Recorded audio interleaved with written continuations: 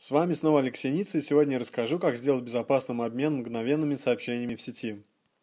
Многие из нас пользуются программами и мессенджерами, например, ICQ, Google Talk и подобными. В настоящее время необходимо знать, как защитить свою информацию от третьих лиц, и сегодня нам в этом поможет Pigeon, один из альтернативных клиентов, умеющий работать со многими системами мгновенных сообщений. Плюс к клиенту модуль OTR – Off the Record Messaging. OTR – модуль, который можно установить дополнительно к программе Pigeon, обеспечивающей безопасность сообщений. Модуль шифрует сообщения, производит аутентификацию собеседников.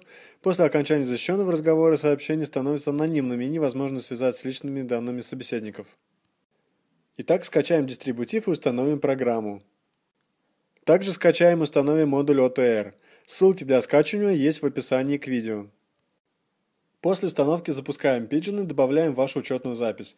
Например, я часто общаюсь в Google Talk, поэтому покажу, как это работает, например, своего аккаунта в этой системе обмена сообщениями. Выбираю протокол Google сообщения, ввожу свой логин и пароль. Теперь настроим модуль OTR. Переходим в средства, модули и выбираем OTR. Необходимо создать закрытый ключ для каждого аккаунта. Например, если я бы использовал еще и ICQ, нужно было бы создавать два ключа. После создания ключа мы видим сам ключ и его отпечаток. Галочки ставим по умолчанию. Все собеседники, с кем вы планируете обмениваться защищенными сообщениями, также должны установить Pigeon и OTR и настроить клиент, как это сделали мы. Теперь открываем окно сообщений с нужным контактом. Обращаем внимание на кнопку справа «Не защищено». Нажимаем на эту кнопку, чтобы начать защищенный разговор. Кнопка меняется на «Не идентифицировано». В окне сообщений появляется информация о том, что начался защищенный диалог. Осталось подтвердить личность собеседника. Переходим в меню OTR и выбираем «Идентифицированный контакт». Pigeon и OTR предлагают на выбор три способа. Первый способ – вопрос-ответ, второй способ – секретное слово и третий способ – проверка отпечатка ключа.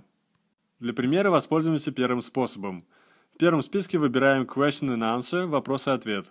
В поле Enter Question Here вводим придуманный вопрос. В поле Enter Secret Answer Here вводим вариант ответа. Тот же вопрос возникает на экране компьютера вашего друга – Питчен предлагает ему ввести ответ. Если ответы совпадают, то аутентификация прошла успешно. Теперь кнопка в окне диалоги заменится на «Защищено».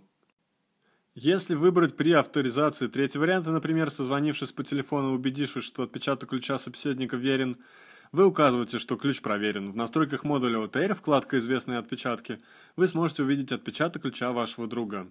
Таким образом, используя Pigeon и модуль OTR, ваши сообщения будут зашифрованы, что сделает ваше общение безопасным. Спасибо за внимание и подписывайтесь на новости нашего сайта, а также на наши аккаунты в социальных сетях. И помните, что с помощью видеоуроков от теплицы социальных технологий вы сможете научиться пользоваться тем или иным сервисом или программой за время, пока вы пьете свой утренний кофе.